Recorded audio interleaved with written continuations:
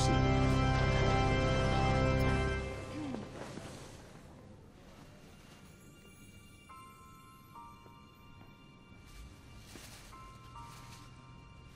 Hey, pretty lady. Eggbert, do you notice anything different about me?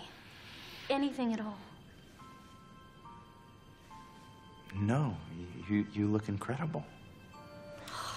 I knew it. Eggbert, I'm sorry. You're a very nice man. But I would rather be alone and happy than with you and unhappy. What are you saying? It's not you, it's me. I'm sorry, Eggbert. Thank you for showing me what a big mistake it would be if I married you today.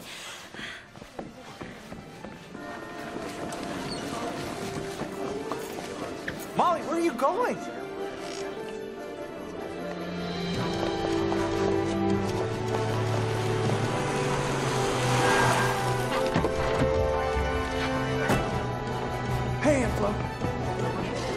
Molly, I love you! She's not here, Joel. What?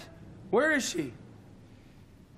Your guess is as good as mine. She was here at the altar, and then she left, and we don't have any way to know where she might be. I think I know. Follow me! Shot!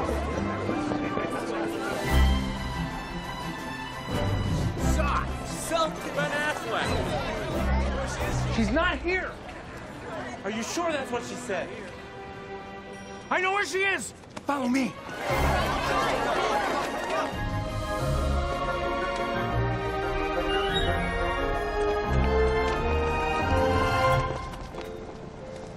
She's not here.